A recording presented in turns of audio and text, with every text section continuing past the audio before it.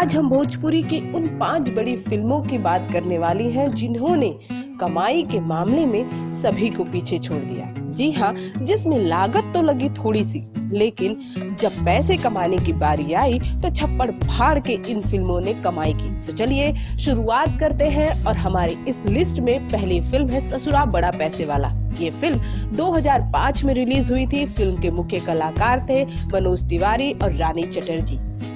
आपको ये जान के हैरानी होगी कि फ़िल्म में लागत, यानी कि फ़िल्म की कुल लागत सिर्फ़ 30 लाख रुपए थी और कमाई के मामले में इस फ़िल्म ने बड़ी बड़ी फ़िल्मों को पछाड़ दिया।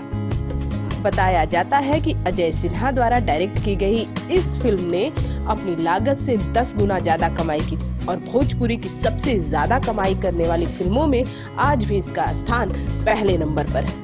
और दूसरी फ़िल्म का नाम है पंडित जी बताई ना, या कब हुई। इस फ़िल्म में रवि किशन और नगमा मेन लीड में थी। यह फ़िल्म भी तकरीबन 25 से 30 लाख रुपए के बीच में बनी थी और यह फ़िल्म 2005 में ही रिलीज़ हुई थी, जब ससुरा बड़ा पैसे वाला रिलीज़ हुई। आपको बता दें कि इस फ़िल्म ने भी छप्पड़ फाड़ कर कमाई की थी और इस फ़िल्म ने भोजपुरी इंडस्ट्री में लोगों का और भी ध्यान आकर्षित किया। आपको बता दें कि इस फ़िल्म की कमाई इतनी ज़्यादा हुई थी कि फ़िल्म के प्रोड्यूसर को भी यकीन नहीं था कि जितना पैसा वो लगा रहे हैं, उससे कई गुना ज़्यादा पैसा वो कमाएँगे। और तीसरी फ़िल्म का नाम है हार नहीं खेजोड़ तू बेजोड़ बाड़ू हो। इस फ़िल्म में पवन सिंह और रानी चटर्जी की मुख्य भूमिका थी।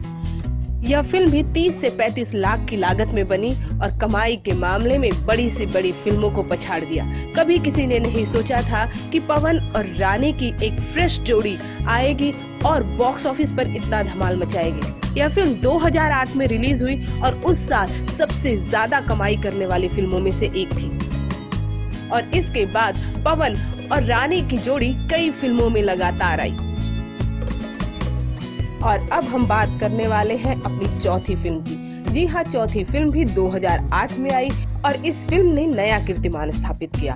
2008 कई मायने में भोजपुरी इंडस्ट्री के लिए बड़ा ही बेहतरीन साल रहा। यही वो साल था जब निरहुआ और खेसारी ने भोजपुरी इंडस्ट्री में धीरे धीरे ही सही लेकिन अपना पैर जमाना शुरू कर दिया था।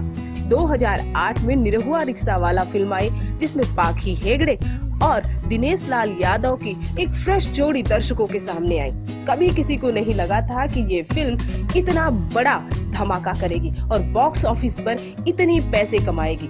सभी को लगा ये फ़िल्म आयाराम और गयाराम की तरह हो जाएगी। ये फ़िल्म आई और बताया जाता है कि 40 से 45 लाख की लागत में बनी इस फ़िल्म ने तकरीबन अपनी लागत से 10 गुना ज़्यादा पैसा कमाया। और इस फ़िल्म ने भोजपुरी इंडस्ट्री को एक फ्रेश जोड़ी दी। दिनेश लाल यादव निरहुआ और पाखी हेगड़े। हम बात करने वाले हैं अपनी पांचवी फ़िल्म के बारे में। जी हाँ पांचवी फ़िल्म भी बहुत ही इम्पोर्टेंट है। वो इसलिए कि इसी फ़िल्म ने खेसारी लाल यादव जैसा सुपरस्टार हमारी भोजपुरी इंडस्ट्री को दिया। अगर आपको यकीन न हो तो हम यहाँ पे उनकी पहली फ़िल्म, यानी कि साजन चले ससुराल से रिलेटेड एक स्टोरी बताने वाले हैं। वो ये कि साजन चले ससुराल को पहले डिस्ट्रीब्यूटर नहीं मिल रहे थे। जैसे तैसे तो इसे डिस्ट्रीब्यूटर मिले। और आपको यहाँ बता दें कि दिनेश लाल यादव निरहुआ ने बड़ी ही अहम भूमिका निभाई थी। इस फ़िल्म में वो किसी रोल में न थे, लेकिन डिस्ट्रीब्यूशन के मामले में खेसारी लाल यादव की इस फ़िल्म को दिनेश लाल यादव निरहुआ ने ही डिस्ट्रीब्यूट किया था।